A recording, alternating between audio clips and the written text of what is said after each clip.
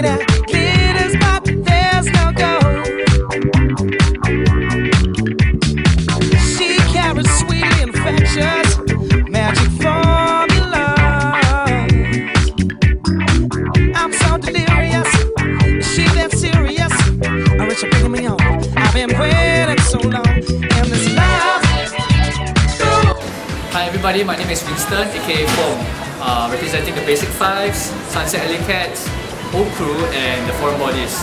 The reason why I dance is uh, I think it's a blessing to do so, you know, to be able to travel around the world, to meet people that I've never met before, to experience life uh, that is out of the normal routine. Uh, I'm really thankful to be doing this and thank you for watching my video.